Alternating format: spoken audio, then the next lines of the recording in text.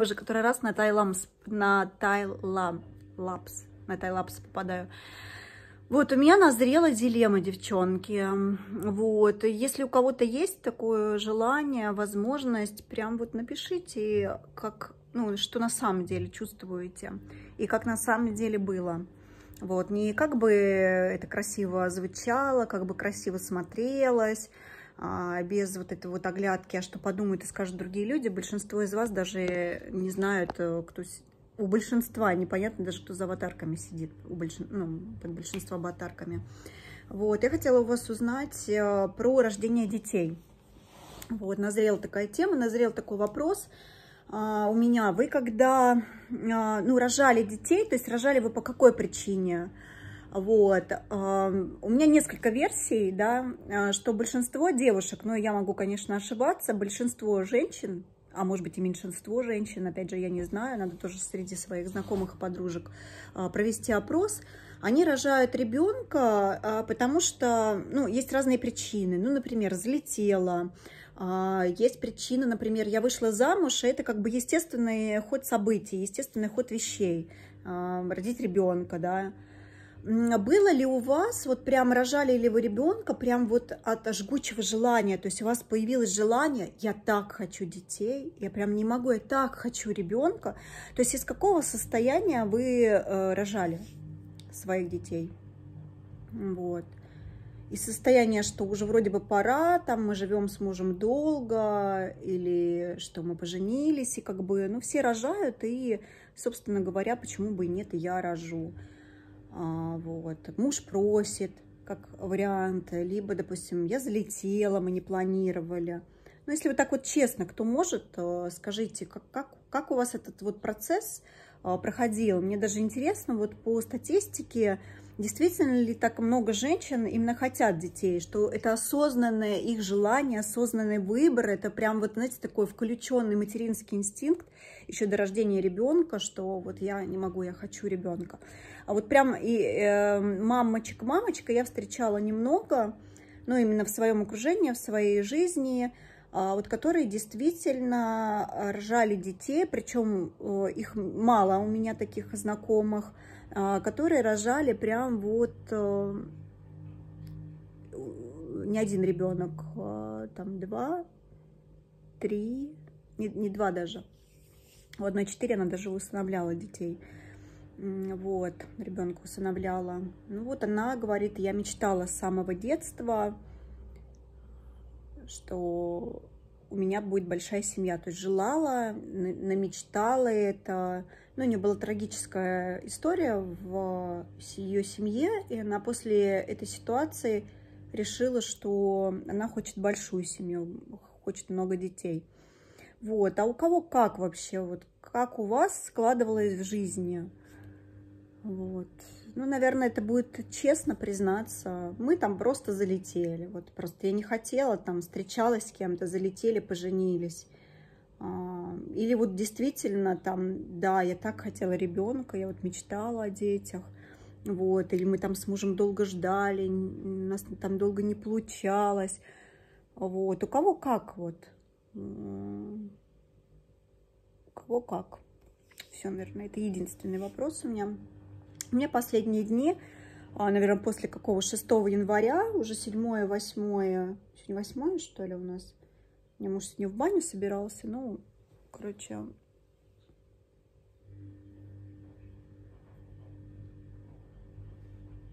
будет заставка. Вот, у меня муж занимался, ой, собирался в баню, что-то у него сегодня не получается. А, потом а, хотела сегодня забрать заказ Фаберлика. Я даже что-то мне из головы выпало, что они работают, э, что сегодня суббота они работают до 4. Я вообще в днях запуталась. Мужа, кстати, завтра выходной. Вот. Куда-нибудь, наверное, пойдем. Я хочу, знаете, заглянуть в секонд. Кто-то ржал а, над тем, что как бы после замужества я началась там одеваться в секонде, или муж меня начал одевать в секонде. Вот. Мне самой по приколу. Я хотя не особо люблю, я, вы знаете, больше, у меня как расширение такое сознания происходит. Я большую часть а, жизни вообще терпеть не могла одевать за кем-то вещи, чьи-то чужие вещи. Ну, если раньше, вот помните еще такой подростковый период, э, когда ты там с девчонками менялась вещами, у нас это было сильно распространено, а я так не хотела не одевать чужие мне вещи, мне нафиг не нужны были чужие вещи, хотя мне одежды было, ну, мало. И мне не хотелось свои вещи отдавать. То есть меня такой был пунктик какой-то очень серьезный, такой основательный. Я один раз как-то отдала платье, э, у нас общая компания была, Наташка. Фамилию не помню, я знаю только ее сейчас, э, такую фамилию замужнюю. И она мне платье прожгла, мое классное платье. И еще я больше утвердилась после этого, что я не хочу никому ничего давать, и не хочу ничего брать, ничего носить. Это как чужая какая-то энергетика. Ну, знаете, как-то в этом году у меня, я говорю, у меня муж расширитель сознания, можно сказать. Э, то есть, э, знаете, у нас есть какие-то принципы, установки такие на жизнь, очень жесткие, и это когда начинаешь э, там жить с другим человеком, а, у тебя вот эти вот границы твоего сознания не расширяются. Блин, а можно как-то иначе, по-другому, блин, нифига себе, как бывает в жизни, да? Это я сейчас не только про вещи. И в секонде реально можно найти какие-то шмотки, там действительно, ну, есть поношенные и есть вещи новые. Новые, там с бирками, по ним видно, что они там не ношенные. А, вот, но все-таки, вы знаете, я в прошлом году купила пару вещей, а, ну, ношенных, и вот я реально вот чувствую эту энергетику чьих-то вещей прям, и от этого мне как-то не очень хорошо, то есть это те вещи, которые у меня лежат, я, может быть, их там разочек-два одела, и все, и я их даже не могу одевать, вот. А, но в секонде можно найти а, хорошие новые вещи, просто по каким-то символическим ценам, это 200 рублей, это 100 рублей в прошлом году. Я турецкую классную кофточку, которую вы меня спрашивали, такая на плечиках, а, классное туреческое качество, белая с звездочками, всего лишь по 100, за 100 рублей мы брали. Мы хотим вот завтра с мужем съездить и посмотреть, что там есть. Там как раз будет распродажа, по-моему, все по 250, все по 175. А потом на следующей неделе, я в субботу, в следующую субботу, там последние дни будет распродажа, все по 100, все по 50. А, мне даже по приколу а, купить и потом, может быть, снять вам видео. Вот, я даже для видео это беру. Может быть, у вас тоже, знаете, какое расширение такой границ произойдет и вы такие скажете, нифига себе, блин, а можно же как-то. В Фаберлик, ну, по-другому, не как я привык там жить, можно иначе. А Фаберлик, допустим, бывает распродажа, я ухватила две классные юбки по 300 рублей, крутые, одна Animal Steel, э, Animal Steel, я выкладывала, я, кстати, сейчас в Инстаграме, иногда периодически активненько там а, себя проявляю, а, вот, и выкладывала юбку в Animal стиле. Классная, классная юбка такая, очень классно смотрится. Знаете, если любую вещь обыграть, и если, в принципе, фигура такая неплохая, а, то любая даже дешевая вещь будет э, смотреться очень даже хорошо. И, знаете, я вообще не любитель тратить деньги на шмотки. Но я вот такой человек, не люблю я. Мне жалко почему-то я считаю, что ну, не может вещь там стоить 100, 200 тысяч, это просто переплата за бренд. И я не хочу как бы годы своей жизни потратить на то, чтобы там зарабатывать деньги на шмотки. Мне нравится вот в том режиме, в котором лайтовым я сейчас живу, а, да, мне не хочется больше прилагать усилий, а, больше тратить энергии, там, я не знаю, чего еще, времени своего на то, чтобы заработать себе очередную шмотку. Я очень просто проще отношусь к вещам, и знаете, до такой степени, что вот а, у меня есть знакомая, тоже интересная такая история, классная, если вообще так рассказать, можно книгу писать. А, это, знаете, онлайн-знакомство на протяжении уже, наверное, 10, как бы не больше лет. То есть мы с ней созваниваемся иногда, там она вещи мне для моих подружек передает, а, она а, звонит мне иногда по каким-то вопросам, я ей звоню по каким-то вопросам, потому что она врач ну, с медицинским образованием, детский врач, неонатолог, вот. И она мне вот сегодня передала сумку. Сумку то ли мама ей отдала, то ли маме подарили, то ли ей подарила мама. Вот, она говорит, я ее не ношу. Я говорю, давай да я возьму. Вот, сумка классная, такая театральная. Ну, я видела эту сумку. Это классная театральная сумочка, такая, как со стразиками, не со стразиками. Но почему бы и нет? То есть я, мне как-то вот эта вот зашоренность в плане вещей, знаете, вот эта вот такая горделивость, э, что, блин, я там я недостойна чьих-то там вещей, у меня куда-то так немножко подпропала. Вот, наверное, просто это более, еще более простое отношение к жизни. Проще стало относиться. То есть я могу себе позволить купить как дорогую вещь, а так, в принципе, могу себе позволить и, и взять у кого-то вещь ношенное что-то поносить, у меня не будет где-то червячок какой-нибудь и эгоистичный, такое э эго, да, такое эм, гордый человечек такой не будет. Блин, ну как это, это недостойно меня или там что-то такое. Вот. Короче, как-то так. А два дня я последних дома. Просто что-то сейчас закинула машинку, стираю. А, прохожу кое-какой марафончик. Да, мне чего не зарекайся, как говорится. Депак, что про марафон я как-то на паузу поставила, но все равно хочу его пройти. Но два марафона совмещать я поняла, что это невозможно. Сегодня книжечку почитаю. А, вот, вообще это получилось так интересно. Захотелось мне вот поговорить с вами. А, так интересно получилось. Э, мы сегодня с мужем проснулись от криков за окном. А, женщина какая-то посылала на три буквы мужика. Вот, и мы что-то от этого с мужем проснулись. И а, что-то стали разговаривать. 5 утра, представляете, 5 утра два человека проснулись, что-то так хорошо поболтали. Вот, там кое-что нужно было разобрать. Мы на днях а, поконфликтовали. А, вот, да, мы ругаемся, как обычные нормальные люди. Вот. Ругаемся, выясняем отношения. А, вот, у каждого, естественно, свои есть тараканы, у всех есть свои жизненные какие-то установки, принципы. И, знаете, это как а, муж говорит, а, как будто берешь такое кустистое дерево и такое, как этим бензопилой, такой обтесываешь друг друга. Вот. И мы что-то как-то встали, и он говорит, а я накануне с ним хотела поговорить, это как он пришел уставший с работы, еще накануне он плохо спал, у него что-то бессонница началась, он в 4 встал и больше не спал, а утром на работу, и потом, ну, то есть, короче, он говорит, давай потом поговорим. А, и вот мы ночью в 5 часов проснулись, он говорит, я там хотела сказать там кое-что. А я, вы знаете, как стала вам на заметку, сейчас тоже дам такие, может быть, рекомендации по семейной жизни. А, это как, вот знаете, как, как вести себя в конфликтных ситуациях. И даже не то, чтобы как вести себя в конфликтных ситуациях, а как из них выходить. Вот я вам с вами буду делиться своими секретиками. И еще такой момент, возможно, когда-нибудь создам марафон.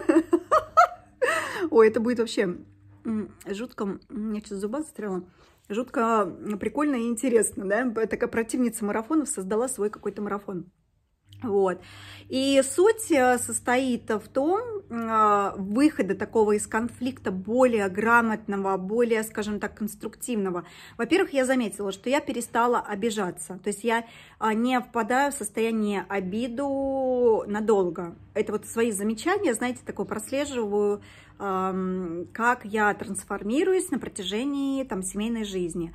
То есть я перестала обижаться. Знаете, как это я поймала себе, я же говорила вам, что последние, наверное, неделю до Нового года а, я себя поймала на мысли, что все классно, все так, как должно быть, и так хорошо было, и вообще какое-то состояние полного счастья, полного удовлетворения жизнью было. И как-то я, знаете, даже проснулась от такого чувства в кровати, в полудремном таком состоянии еще, что как круто, я лежу в постели, и так хорошо, и я так благодарна Богу, что я лежу под теплым одеялом, в квартире, у меня есть крыша над головой. То есть, знаете, это чувство такое не от ума, а ты сидишь там, как раньше, там у меня была практика, я писала э, книгу благодарности, вела. То есть э, пять благодарностей нужно писать э, в конце дня. А, вот. А я прям прочувствовала это эмоционально, ну, то есть это не было от ума, это я не писала, я к этому не готовилась, а это было состоянием души. То есть ты вот лежишь, я лежала в кровати и просто проснулась, а, солнце било в окно, щекотали меня лучики солнца, где-то там мое тело, я была накрыта одеялом, и у меня такое было ощущение кайфовое, просто, знаете, непередаваемое, это нужно прочувствовать.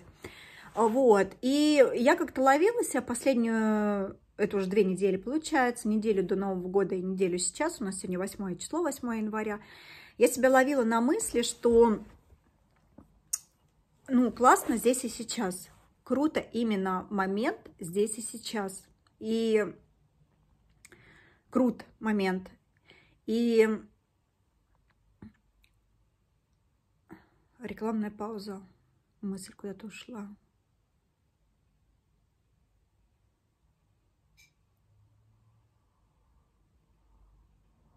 чаек надо сделать. Чаек сейчас травяной пью. Короче, а, вот это состояние быть счастливым или несчастливым ты выбираешь сам.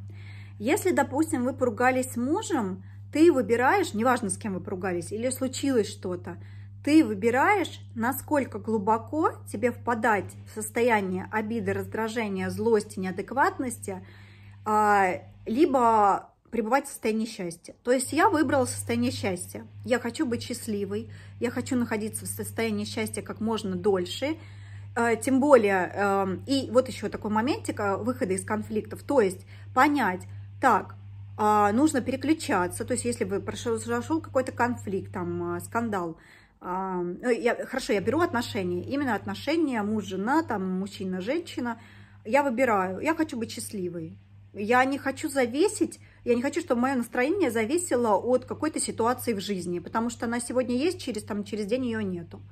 Это первое. А, Во-вторых, чтобы снизить градус а, напряженности а, в подаче информации, ну, то есть, а, а, если говорить проще, чтобы не наорать на мужа, да, и не высказать все это в агрессивной форме, в претензионной, а, вот, хотя мы уже как бы поскандалили, да, а, переспали с этой мыслью. С утра я встала, поняла, я не хочу быть несчастной, я хочу быть счастливой, я не хочу долго переваривать эту тему в голове, я хочу дальше заниматься своими делами. Жизнь уникальна, удивительна, вообще прекрасна. И я не хочу, ну, как бы свое внимание, свою энергию оттягивать на этот конфликт. Я хочу дальше заниматься своими классными делами, а вот у меня очень много идей, прикольных, всяких крутых, и я хочу этому посвящать жизнь, и не хочу посвящать жизнь какой-то херне. Вот, и поэтому я решила на листочек выписать, то есть я сейчас практикую, на листочек прям выписываю, а, что меня не устраивает. А, у нас эм, была какая-то ситуация, и я стала себя анализировать, то есть я проанализировала, почему у меня была такая реакция на все это. Я себе выписала, что этому предшествовало, то есть почему как прелюдия, да, почему у меня была такая, в принципе, на а, вполне себе такую, ну, ситуацию не из ряда вон выходящую, у меня была какая-то очень бурная реакция. И я себе выписала, что этому предшествовало. Так, вот это вот его поведение там, там за два дня э, накопило во мне напряжение, там вот это вот его черта характера, а, вот э, усугубило это напряжение, там. И вот это вот я расписала, расписала. А так как я понимаю, что муж мне не дебил, сегодня с утра в 5 утра сказала, вот, это у нас э, очень классно, то есть мы с ним разговариваем. Это вот, наверное, самое крутое. Я не говорю, девчонки, я не буду говорить вам, а, за, не знаю, за всю жизнь, будем ли мы с ним, там, кто-то может сказать, вы сейчас пока просто у вас там, я не знаю, конфетно-букетный период, вы еще недолго живете, вот проживете там 5 лет, на вас и посмотрим. Я не знаю, что будет через 5, через 10 лет, там, через 20 лет. Я живу вот сейчас в этом промежутке. Никто от нас ни от чего не застрахован, и никто не знает, э, что нас ждет впереди. Но я исхожу из э, состояния здесь и сейчас. И вот э, я ему вчера сказала, я понимаю, что ты меня не дебил, у меня муж, ну, реально не дебил, он у меня очень пластичный, то есть он адекватный у меня, если ему что-то объяснить, то есть есть, знаете, категория такая, мужчин, женщин, им скажешь, допустим, да, а, ну, хотя у меня, в принципе, такого не было, они, ну, они за ним хоть сы в глаза, короче, все божья роса, они даже не понимают, о чем ты им говоришь. У меня муж очень адекватный, рассудительный, ему э, можно объяснить, даже если он э, воспримет это в штыки, хотя это редко бывает, а, пройдет какое-то время, и а, ну, как бы он догоняет, или может он сразу услышать тебя, то есть это человек слышащий, то есть вот с, э, с этим мне повезло, то есть такой, знаете, в плюсик такой, с этим мне повезло, то есть он у меня очень адекватный, а, если ему что-то говоришь, он пластичный, то есть он может услышать э, другую точку зрения и может принять, что человек думает по-другому, и что, возможно, его где-то действия могли привести к этому. То есть он не какой-то у меня такой... Ну, и я ему говорю, ты меня не дебил, как бы, а, я, в принципе, понимаю, а, я знаю его уже, то есть я его немножко изучила, я понимаю, что а, если я ему расскажу доходчиво, развернуто, безэмоционально, более логично, то он меня поймет. Он меня поймет, и он признает где-то свою ошибку. Скажет, да, я здесь был неправ.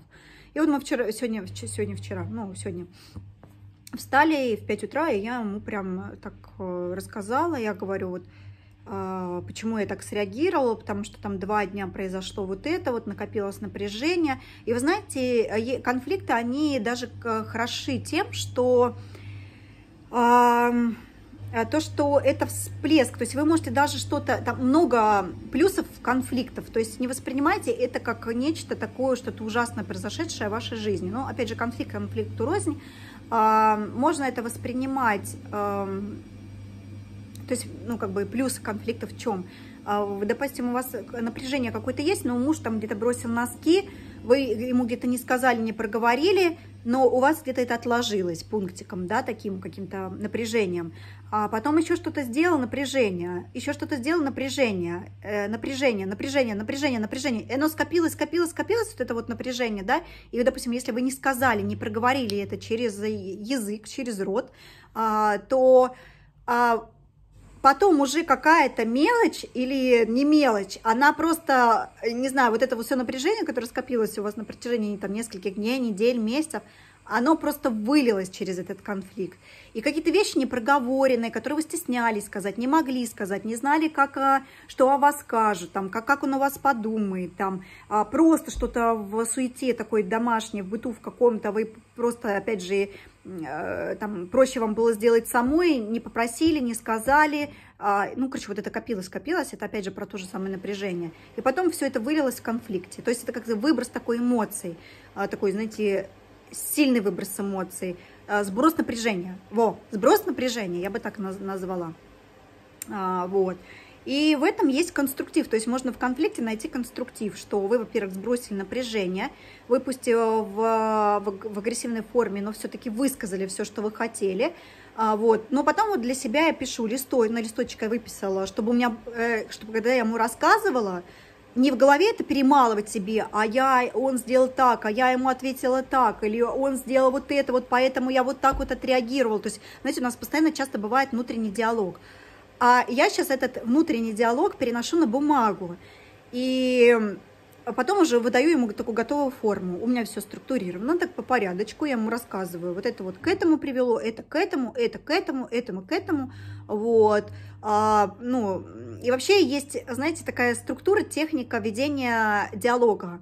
А, мне ее как-то дала подружка, но я сейчас, честно, не помню. Сначала поблагодарить, а потом а, поблагодарить человека за что-то, потом сказать, но опять же должно ваш монолог, он должен быть про ваши чувства. То есть я себя чувствовала так-то, так-то. Не ты, козел, ты сделал вот это вот, а я...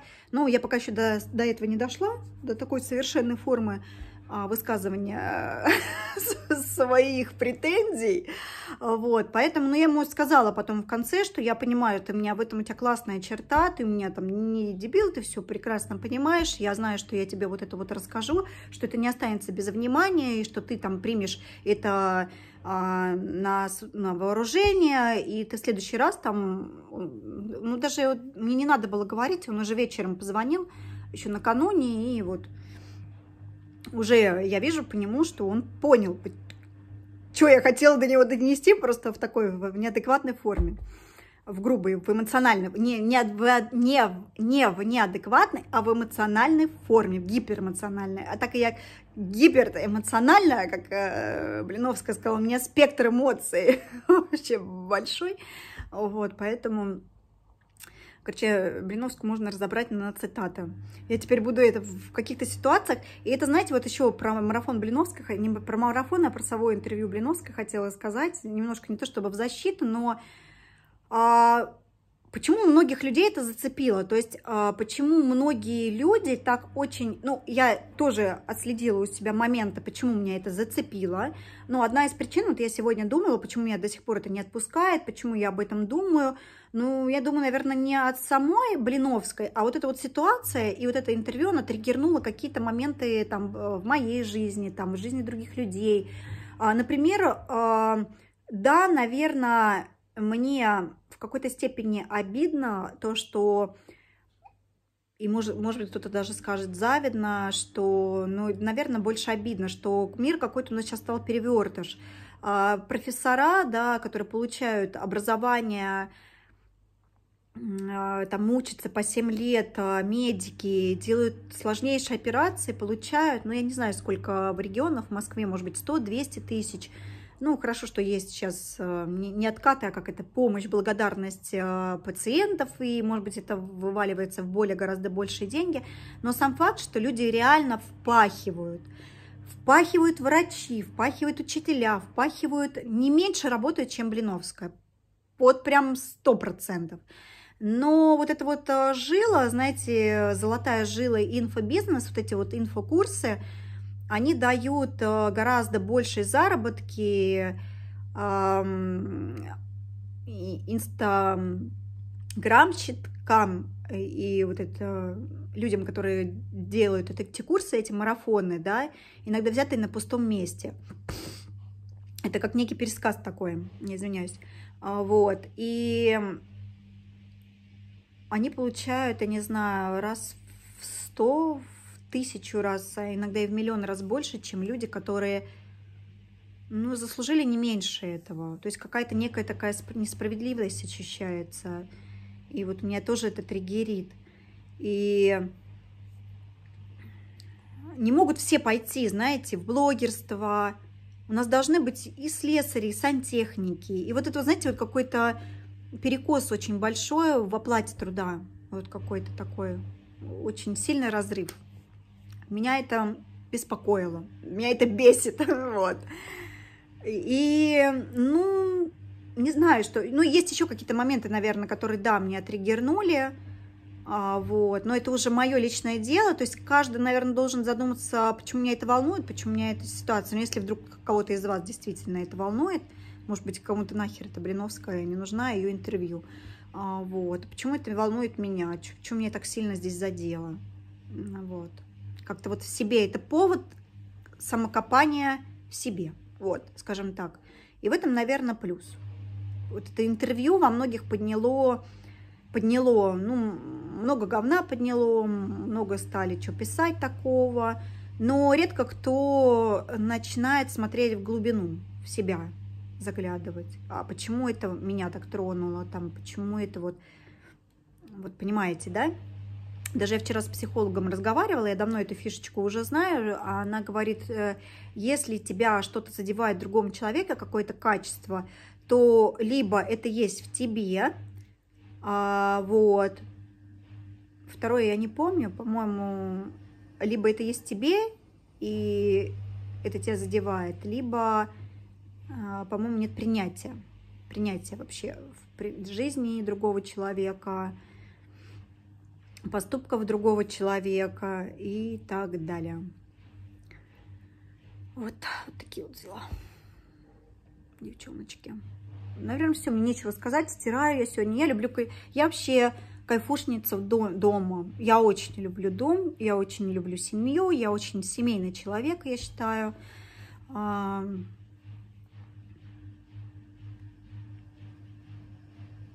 Не знаю, люблю свою семью, люблю мужа, реально понимаю, что люблю мужа, люблю себя, люблю родителей, люблю жизнь, которая у меня есть.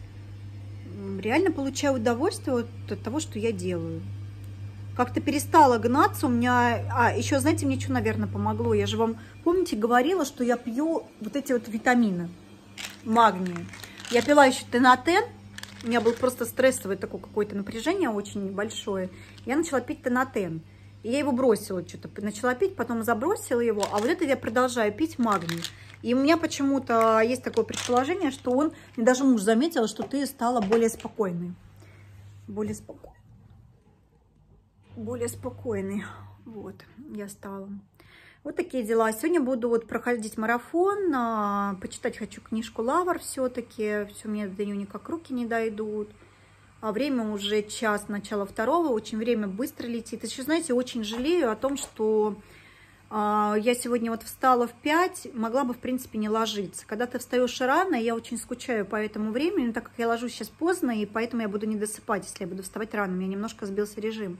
И тогда встаешь рано, у тебя вообще по-другому день складывается, ты по-другому ощущаешь себя, ты лучше высыпаешься, у тебя какая-то жизненная энергия появляется, ты, я а, больше успеваю как-то. И вот я хочу опять вернуться к этому режиму. Но мне сейчас трудом получается, потому что немножко сбился опять же режим, говорю, и мне надо как-то его восстановить.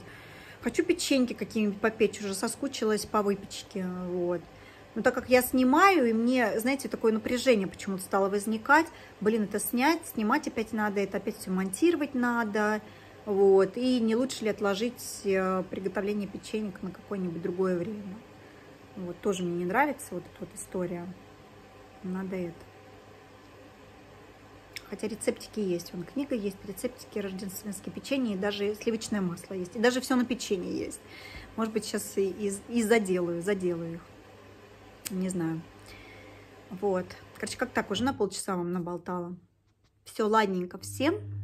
До новых встреч. Обязательно оцените это видео как-нибудь лайком, дизлайком, хотя они сейчас не фиксируются, какой-нибудь цветочком каким-нибудь в комментарии, ну, чтобы какая-то реакция. Для меня это очень ценно, это как некий такой э, не знаю, презент, ну, если вам было это полезно видео, как-то, это как некая такая вот в копилочку, знаете, обмен энергией, вот, обмен энергией.